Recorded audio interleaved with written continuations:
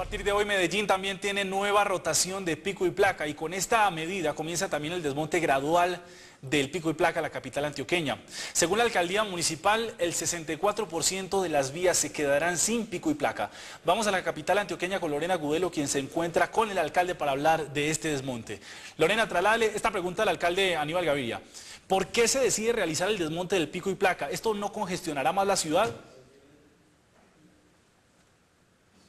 Andrés, así es, comienza el desmonte gradual de pico y placa en la ciudad de Medellín, el 64% de las vías exentas de este pico y placa y también una nueva rotación. Vamos a escuchar precisamente lo que dice el alcalde de la ciudad, Aníbal Gaviria Correa, sobre esta nueva rotación de pico y placa.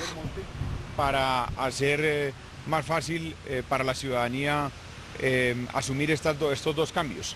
Y lo vamos a hacer a partir de hoy, martes 3 de julio, por dos semanas en forma pedagógica y después eh, ya queda definitivo. Em, eh, la rotación, por supuesto, será para todo este segundo semestre hasta enero del próximo año y mm, el desmonte es eh, una primera medida en ese desmonte gradual en el que nos hemos comprometido. Alguien pregunta del estudio por qué se decide desmontar precisamente el 64% de pico y placa en el 64% de las vías.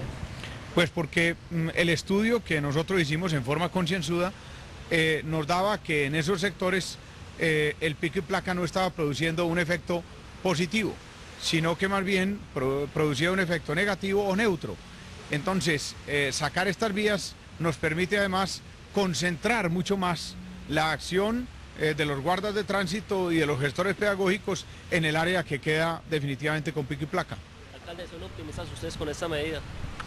Bueno, hay que ser francos con la opinión pública. Es que esta medida no es una medida que va a llevar un alivio general, va a llevar un alivio particular a las zonas en las cuales el pico y placa no se va a utilizar y pensamos que mm, eh, con eh, la combinación de otras medidas futuras en las zonas en donde se presenta más congestión de tráfico, eh, vamos a ir avanzando en esa solución integral.